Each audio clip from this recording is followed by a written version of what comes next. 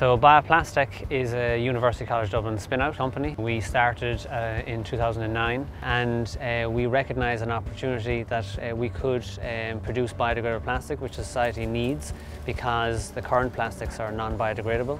And we also saw that there was an opportunity to produce uh, biodegradable plastic from waste because we generate so much waste um, that it's a, a perfect resource.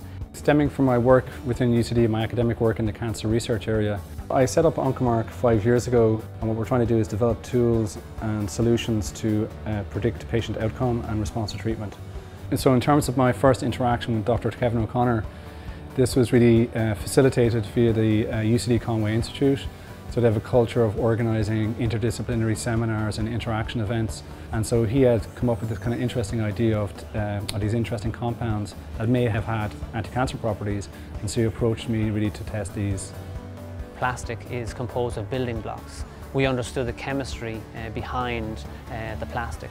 And so by looking at the building block, uh, we were actually able to deduce that it could have some benefit to an anti-cancer drug. Um, if there's anybody in UCD that you're going to go to, to collaborate with on cancer uh, research, it'll be, uh, it'll be Liam. And so basically Liam has the cell culture expertise, he has the knowledge of cancer, I have the knowledge of small molecules and plastics, so it was a, a very good marriage. In terms of the kind of novelty of this project, this is the first case example of a um, a particular polymer of this type being combined with uh, these what are called cationic peptides.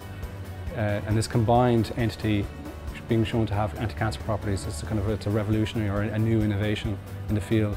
Ultimately we want to go to the clinic so that we can uh, treat people with cancer um, but we have a long road towards that. First of all we want to expand uh, our testing to see well how many cancers can this particular molecule kill. Um, so we've shown that it can kill um, brain cancer, colon cancer, lung cancer, breast cancer, um, but we want to expand it further, so we are collaborating internationally. So we need to take this kind of essentially what is a, a test tube based observation towards a, a, a, more human relevant scenario. I suppose I always thought innovation was invention. Um, it's not, it's the application uh, of what you find.